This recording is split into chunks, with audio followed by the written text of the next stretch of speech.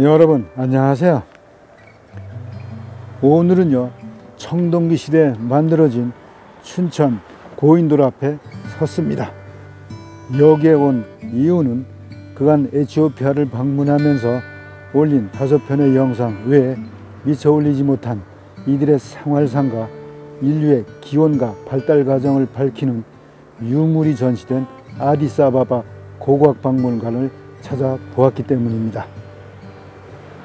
자, 그러면 함께 들러보겠습니다.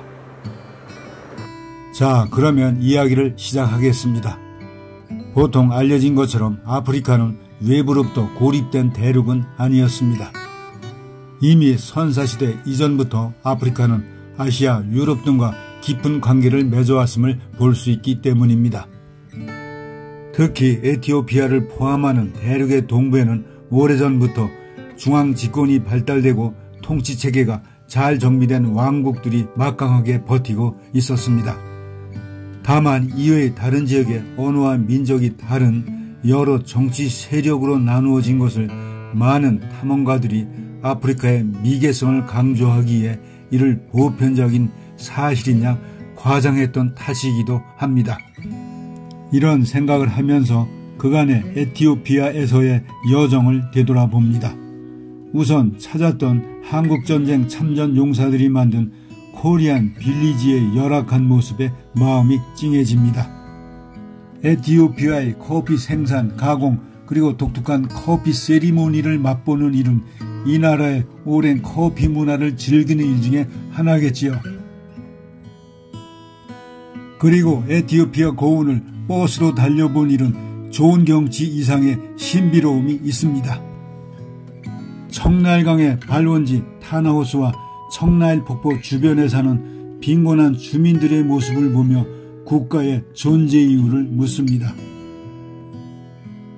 제2의 예루살렘이라 불리는 성지 랄리벨라로 가는 산악지대는 볼만한 자연경관입니다. 거대한 화산암을 깎아 들어가면서 세운 지하계의 열한 채가 있는 성지 랄리벨라의 신비로움은 불가사의한 일 중에 하나입니다. 이렇게 오랜 역사를 지닌 이 나라의 마지막 황제 셀라시에가 공산주의자의 구테타로 실각하면서 많은 사람들이 죽음으로 몰리는 등 비극적인 현대사의 아픔을 가졌지만 아프리카의 중심국가로 발돋움하고 있음을 봅니다. 이렇게 이 나라에서의 여정을 되돌아보며 우리나라 사람들이 봉사하는 현장 몇 곳을 더 방문합니다. 우선 아디스아바바에서 남서쪽으로 약 350km 떨어진 진마시의 진마대학에서 우리 농업기술을 이전하는 강원대학교 교수진과 현장 그리고 방학을 이용하여 인근 초등학교에서 봉사하는 우리 강원대 학생들과 시간을 같이 합니다. 그리고 강원대학교 농업자원경제학과에서 박사학위를 취득한 진마대학의 총장이 되는 제말 박사의 안내로 인근 농촌 마을과 그의 집도 방문합니다. 사실 생각하면 강원대학교 출신이 학생 수 4만 3천여 명의 교수진만 약 2,600명이 되는 이 대학의 총장이 되었다는 사실은 아주 뿌듯한 일이었습니다. 이어 농촌진흥청 코피아를 방문하여 우리의 작물 재배 기술을 전수하는 현장과 경상북도에서 지원하는 새마을 현장 등을 보며 우리가 빈곤에 허덕이던 때가 생각납니다. 아무튼 이러한 노고가 쌓여 상상하는 좋은 결과를 맺기를 기원하며 아디스 아바바로 향합니다. 진마시를 떠나 아디스 아바바까지 약 350km를 자동차로 이동하면서 이곳 사람들의 생생한 삶의 모습을 볼 수 있었습니다. 낙타떼를 몰고 가는 목동, 어수선한 시골 장터에 팔려고 내놓은 농축산물과 숯 등등 이들 생활의 적나라함을 그대로 보았습니다.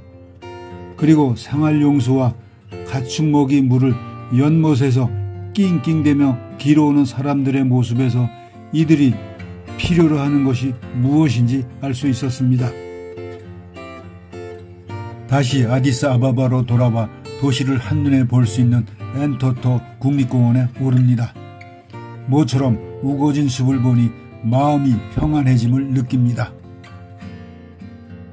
이어 시내로 들어오니 여러 이슬람 사원과 성당 등이 동시에 자리 잡고 있는 등 이 나라의 종교적 성격을 잘 보여줍니다. 즉, 이 나라의 종교별 신자 수를 보면 에티오피아 정교의 약 44%, 이슬람교 34%, 개신교 신자가 19% 등이 이를 말해줍니다. 이어 아디스 아바바 대학을 찾아 강원대학교에서 파견 나온 권호열 교수 주선으로 우리의 새마을 운동에 대해 학생들과 대화를 나눕니다.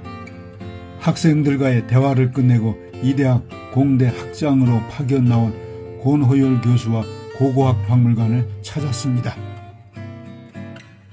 이 박물관의 진수는 1974년 프랑스의 고고학자 팀이 에티오피아 남쪽 오모강 하류 지역에서 발견한 약 350만 년 전의 여성 뼈 화석 루시입니다.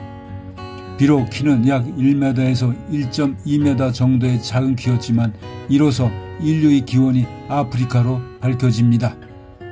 이를 보면서 아프리카라는 의미가 고향이라는 것을 생각하면 이곳이 인류의 고향이라는 것이 우연의 일치는 아닌 것 같습니다. 인류의 기원은 그림에서 보는 것처럼 동아프리카의 오모강 하류 유역을 중심으로 인류의 화석이 발견된 것으로 고향을 찾아가는 기분으로 한번 가보고 싶은 지역입니다.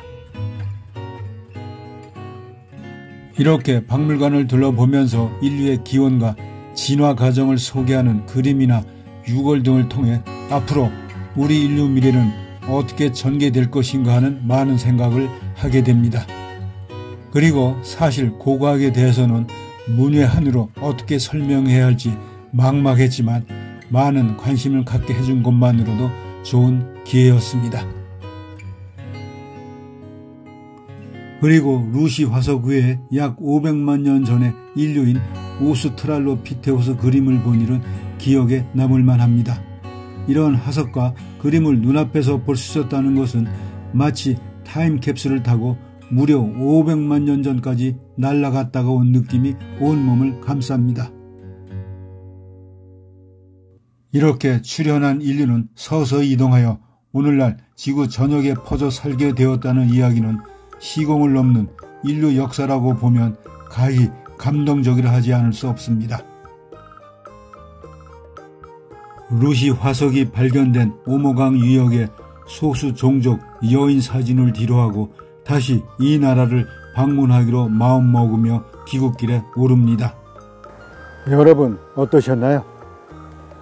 사실 아프리카 하면 오랜 식민지 경험과 현재 어려운 사회 경제적인 환경 등 어두운 이미지가 강한 것은 현실입니다.